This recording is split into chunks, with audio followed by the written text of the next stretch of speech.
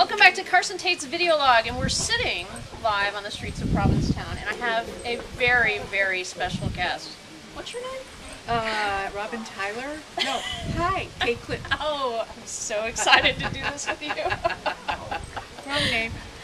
So, um, so I have a quote, and it's like one of my favorite quotes about you. It's from Kate Kendell, who I think is Love a hero, her. my hero. Um, Kate Clinton has held the mirror that reflects every single issue that has faced us in the last 25 years. We have laughed with her, cried with her, and been changed by her. And I can't think of any more appropriate statement to say about you. Thank you. You know, I have a Kindle and I named it after Kate, so it's Kate. Kate's Kindle. It's Kate Kindle. I told her. Then I lost it. Well, that's perfect.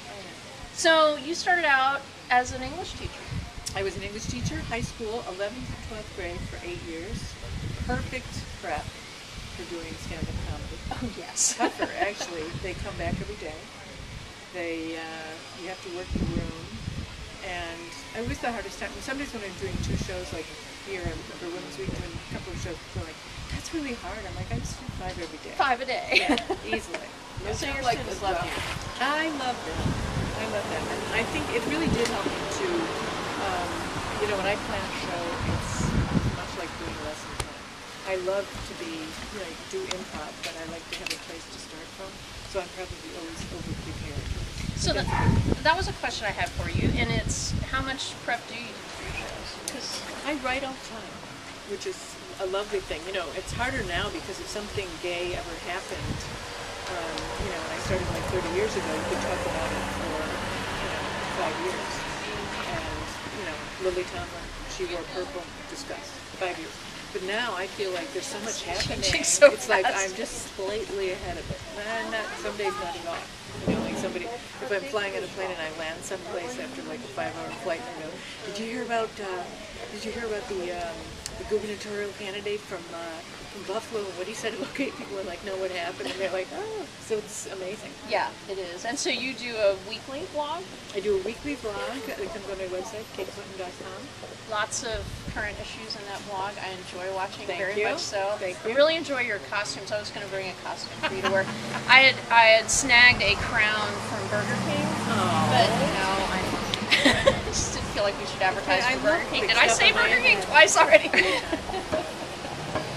um, so I noticed you have a little notebook here. I do. So you're writing things about people you see, Um, or just ideas? all about- kinds of things, but I do know that I have to write ideas down because it's like if I think, oh yeah, I'll remember that, I won't. I won't. Absolutely not. I'm the same way. It's got to be jotted down. And then I, when I put a routine together, I'm just like got tons of papers all flying all over the place. It's good to And I try to wrangle them, make it something. Yeah, Well, um, so this is this your latest book? it is my latest I book. thought it might be. Number three, you can get it at Burger King. I'm kidding. kidding. You might be able to. I'd love it. You Wouldn't that know. be nice? It would be great. so I'm going to ask you to autograph this for me later. I would love that. Um, so that's your third book. Are you working on more books? Do you do you enjoy the writing process of comedy more than the stand-up part, or When I'm circling Newark for the fourth hour, uh, I wish I were at my desk. When I'm at my desk and just like tearing my hair out because I don't know what to do, I wish I were circling Newark and going to a show. Um, but I love, you know, I love performing and I love writing. I love them both. And I think it's important and to have a long career, you have to do all kinds of things, you know. Um, I, you know, I MC dinners, I do conferences, I do performances, I write columns. I mean, you just yeah, you're all over the place. I mean, know, which is great. I mean, you're like the queen of social media as far as. Well, the person to thank is Michelle Carlsberg right there. I work for her. she said, you got to do more tweets. I'm like, oh my God, okay. Do you ever watch yourself on tape? Obviously No. not while you're live. No, I don't watch myself on tape. I don't read reviews, good or bad.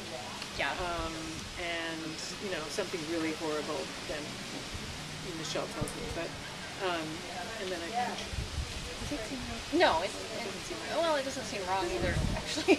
It's a good word. yeah, it is. It's cathartic. And so I, you know, I really don't. I just it's so popular.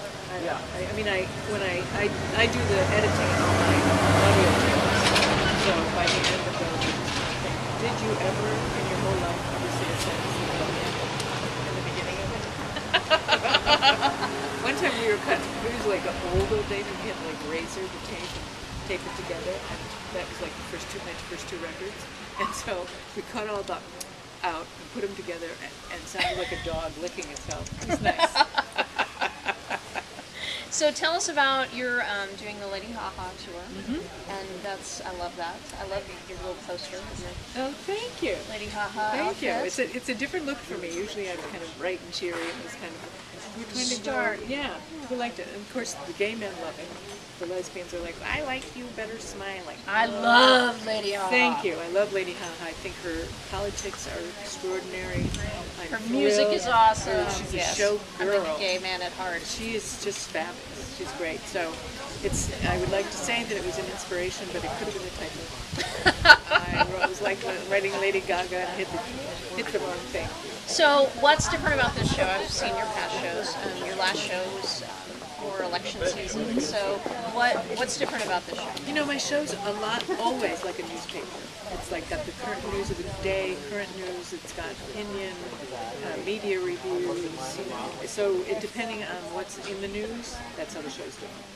Although I have to say, this particular three or four months before the midterm election has been very much about encouraging people to get out and vote and Absolutely. get out of themselves. The world didn't change in two years. Grow up. You know, we've got a lot of work to do. I mean, it's been 40 years of anti-government rhetoric. We're going to need yeah. a couple a more two more time. Yeah. Exactly. Yeah. So um,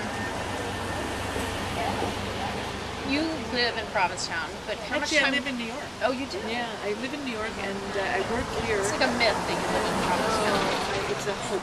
Because I've seen like little you riding your bicycle. Yeah. and- Well, I have a house here. I Okay, well- managed to buy a house here in All right, 1990. you own property in Provincetown. I know. I got lucky years ago, years and years ago. Um, but I mostly live in New York. How much my, time do you get to spend here? Um, you know, certainly July and August, and then sometime in the fall, and then we try to get here as often as we can. It's a bit. If we lived in Boston, we would achieve it better. But Sure. It's a five-hour drive from New York. Um, and, but you know, it's very lovely and restorative. We'll be here for the holidays. So what's what's so great about Women's Week for people who haven't experienced it? Um, that's so great. First of all, it's a beautiful time of year here. Absolutely, it's gorgeous, gorgeous. time of year. Uh, the light is wonderful. It's you know turning toward this. The, you know the town is still open and up and running. Fabulous sales all over town. The bins are out to buy things, and it's just great to um, be together. And for me, it's great to see all my performer friends who are here. Yeah. Because usually it's like the goal is never to be in the same town as them. Right. So, or you know, it's fun to be on a boat, but you, you know, we work hard on those things. Um, so this is just great. Was there ever a time you had to stand on the street and pass out flyers? No, I never, I never did it, and I really think that's why people like me. She didn't bother us with those flyers. None of those Let's flyers, none of those show. papers laying Yeah. all over the place. She never harassed me. I'm going to her show. Well, we've, we've gone to your show every year we've been here, Thank so no helping- flyers. Thank you for helping me buy my house. You're welcome. Got the room for us, right? Casa Manana. oh, excellent. Casa Gay Manana. I like that. Lesbiana Manana. Something. So we'll be posting this soon, so people can catch you at the Crown and Anchor this week, Yep. and um, you're doing a couple shows a day. I'm doing a show this Thursday night. I'll do a show tonight at seven, and then Friday and Saturday I do a show at three and seven both days. On Saturday I'm going to do a uh, really fun discussion about writing with um, that with the Bywater Books folks. with the Bywater Books people, and that's that'll be great, and it's free. That's what we really free is I great. like that.